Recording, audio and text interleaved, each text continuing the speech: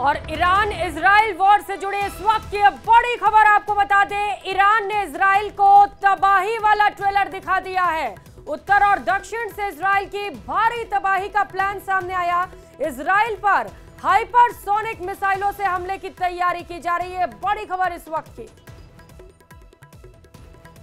तो Iran Israel war से जुड़े इस वक्त की सबसे बड़ी खबर आपको बता रहे हैं, लगातार दोनों देशों के बीच जंग छिड़ी हुई है और इसी से जुड़ी एक और बड़ी खबर सामने आ रही है, जहाँ पर ईरान ने इसराइल को तबाही वाला ट्रेलर दिखाया, पूरी प्लानिंग कर ली गई है ईरान की ओर से इसराइल को तबाह करने की।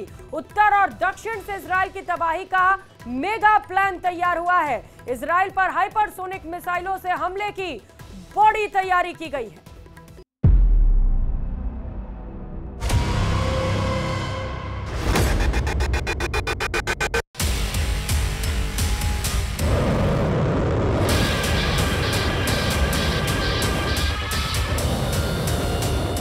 ईरान की समाचार एजेंसी आईएसएनए ने बताया है कि ईरान के पास ऐसी नौ प्रकार की मिसाइलें हैं जो इसराइल तक पहुंचकर हमला करने की ताकत रखती हैं।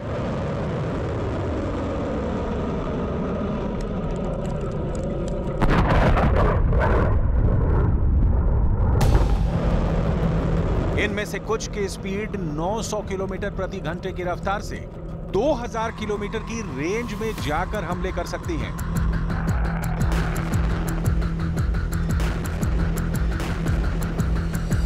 ईरान ने आज अपनी नौ मिसाइलों की ताकत पूरी दुनिया को दिखाई है।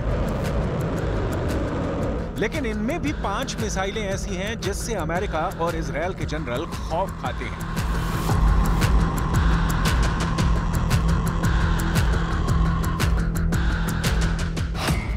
ईरान की पहली घातक missile Sejjil missile.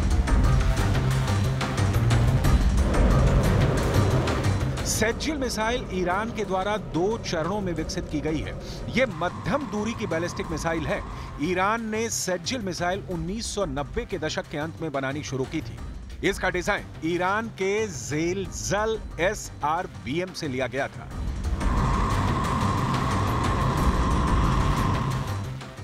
Sejjil missile की लंबाई 18 मीटर व्यास 1.25 मीटर और कुल वज़न 23,600 किलोग्राम है।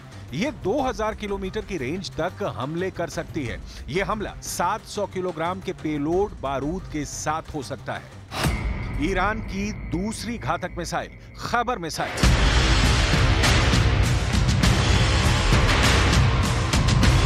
ईरान की खैबर मिसाइल को खुर्रम शहर फोर के नाम से भी जाना जाता है। खैबर मिसाइल ईरान की मिसाइल फैमिली की चौथी पीढ़ी की मध्यम दूरी की बैलिस्टिक मिसाइल है। ये मिसाइल ईरान के रक्षा मंत्रालय ने बनाई है।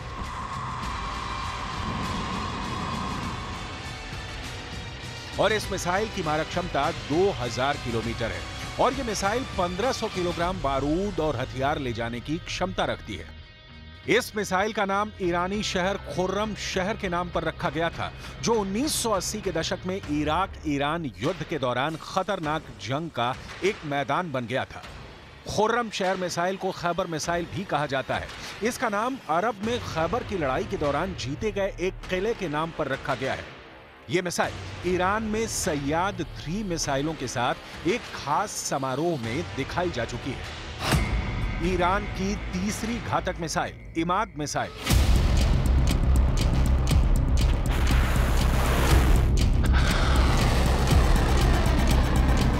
Emad missile Iran के मिसाइल कार्यक्रम की एक महत्वपूर्ण कड़ी है। इसकी मारक क्षमता लगभग 1700 किलोमीटर है। यह मिसाइल 750 किलोग्राम वज़न के बारूद ले जा सकती है। इमाद ईरान की पहली गाइडेड बैलिस्टिक मिसाइल है, जो सतह से सतह पर मार करती है। यह मिसाइल अपने लक्ष्य के 500 मीटर के दायरे में सटीक हमला कर सकती है। इसराइल इस मिसाइल को अपने लिए विशेष खतरा मानता है। ईरान की चौथी घातक missile, Shahab three missile.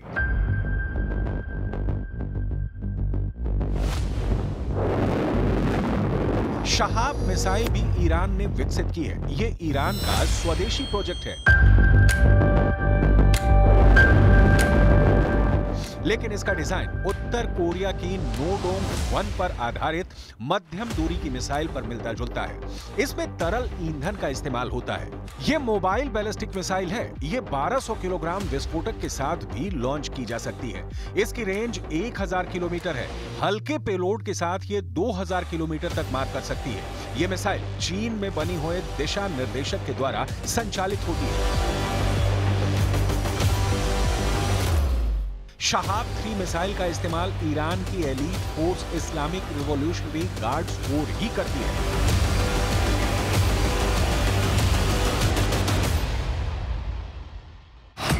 Iran की पांचवी घातक missile, Fattah two missile.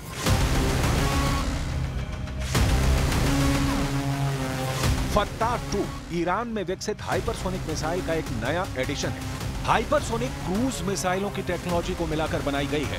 इस प्रोजेक्ट पर अब भी काम हो रहा है और भविष्य में इसके और संस्करण बनाए जाने की उम्मीद है। फत्तार टू मिसाइल की मारक क्षमता 1500 से 1800 किलोमीटर है और इसे बिना पहचाने लक्ष्य को भेदने और निशाना साधने के लिए डिज़ाइन किया गया है।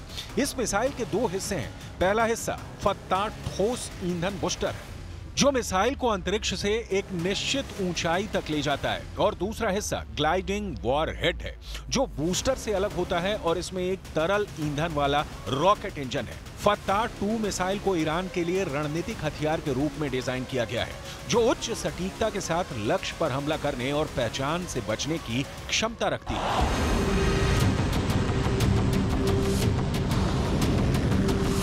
Fattah two hypersonic missile Iran की सबसे घातक मिसाइल है, जिसके बारे में कहा जाता है कि यह आयरन डोम के कवच को भी तोड़ने की क्षमता रखती है। दरअसल, अभी तक इस मिसाइल को लेकर ईरान ने बड़े बड़े दावे किए हैं, और इनमें से एक दावा यह भी है कि यह मिसाइल आयरन डोम को तोड़ देगी।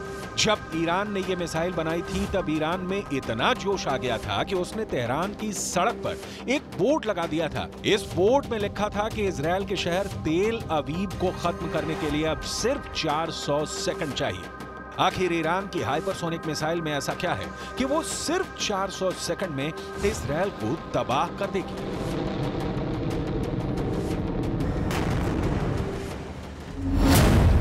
6 जून 2023 को ईरान ने फत्ता हाइपरसोनिक मिसाइल दुनिया के सामने पेश की थी और 3 जुलाई 2023 को ईरान ने घोषणा कर दी कि वो इस मिसाइल को युद्धपोत पर तैनात करने जा रहा है।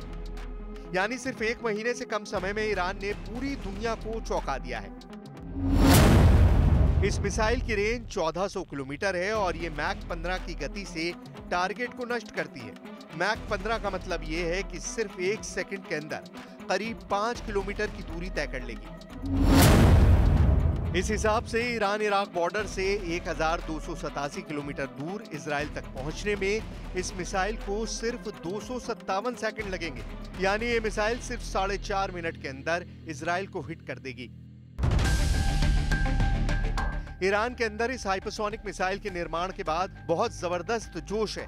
ईरान के सरकारी टीवी में यह दावा किया गया है ये हाइपरसोनिक मिसाइल अमेरिका के एयर डिफेंस और इसराइल के आयरन डोम के डिफेंस को भी भेदने में सक्षम है ईरान के इन बड़े बड़े दावों पर इसराइल की भी त्योरियाँ चढ़ गई हैं। इसराइल के रक्षा मंत्री योव गैलेंट ने ईरान के दावों को खारिज करते हुए कहा है कि मैंने सुना है कि हमारे दुश्मन उन हथियारों के बारे में शेखी भगा रहे हैं, जो वो विकसित कर रहे हैं हमारे पास ऐसे किसी भी विकसित हथियार के लिए और भी बेहतर जवाबी हथियार तैयार हैं, चाहे ज़मीन पर हवा में या समुद्री क्षेत्र ईरान जहाँ भी हमला करेगा, बेहतरीन जवाब मिलेगा।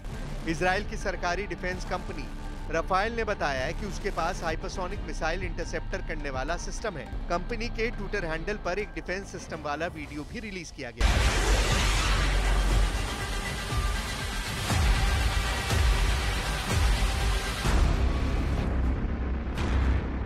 इसराइल दुनिया के उन देशों में से है जिनकी डिफेंस क्षमता का हर कोई लोहा मानता है। इसराइल के पास दुनिया का बेस्ट एयर डिफेंस सिस्टम है।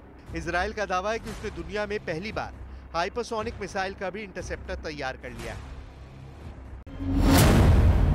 स्काईसोनिक नाम का हाइपरसोनिक मिसाइल इंटरसेप्टर सिस्टम आवाज़ से 10 गुना तेज, यानी मैक 10 तक की रफ्तार से गुजरती मिसाइलों को ट्रेस कर सकता है। हाइपरसोनिक मिसाइल लॉन्च होने के बाद भी अपनी राह बदल लेती है। स्काई सोनिक फिर भी उन्हें ट्रैक कर लेगा। यही नहीं Sky Sonic hypersonic ballistic missile और हाइपरसोनिक क्रूज मिसाइल दोनों तरह की मिसाइलों को इंटरसेप्ट कर सकता है। इसराइल ने बिल्कुल साफ़ कर दिया है कि उसको पता है कि अपने नागरिकों की सुरक्षा कैसे करनी है। अगर युद्ध हुआ तो दुश्मनों पर करारा प्रहार करेंगे। अगर युद्ध हुआ तो ये पता चल जाएगा कि कौन ज़्यादा ताकतवर है। आखिर हाइपरसोनिक मिसाइल में ऐसा क्या खास होता है जो हर देश इसको बनाना चाहता है? हाइपरसोनिक मिसाइल एक ऐसा हथियार है जो 5 मैक की गति या इससे भी ज़्यादा की स्पीड से उड़ान भरती है। एक मैक स्पीड का मतलब है ध्वनि की स्पीड के बराबर की गति। ध्वनि यानी आवाज़ एक घंटे में 1225 किलोमीटर की दूरी तय कर लेती है। इस तरह एक मैक्स स्पीड का मतलब है 1225 किलोमीटर प्रति घंटा। पाँच मैक्स स्पीड का मतलब है 6125 किलोमीटर प्रति घंटे की रफ्तार। हाइपरसोनिक मिसाइल बैलिस्टिक मिसाइल से ज़्यादा सटीक निशाना लगाती है। हाइपरसोनिक मिसाइल कम ऊंचाई पर गुजरने की वजह से रडार की पकड़ में नहीं आती है। यही वजह है कि हाइपरसोनिक मिसाइल एयर डिफेंस को तोड़ देती है। और दुश्मन पर बहुत तेज हमला करती है। इतना तेज हमला कि दुश्मन को संभलने का मौका भी नहीं मिलता। जैसे रूस की किंजल मिसाइल हाइपरसोनिक मिसाइल है, जिसने यूक्रेन में कहर ढा दिया। यूरोप के कई देशों ने यूक्रेन को अपने एयर डिफेंस दिए हैं, फिर भी किंजल हाइपरसोनिक मिसाइल को कोई एयर डिफेंस नहीं रोक सका। और यही वजह है कि हाइपरसोनिक मिसाइल के निर्माण का दावा करके ईरान के रेवोल्यूशनरी गार्ड के कमांडर्स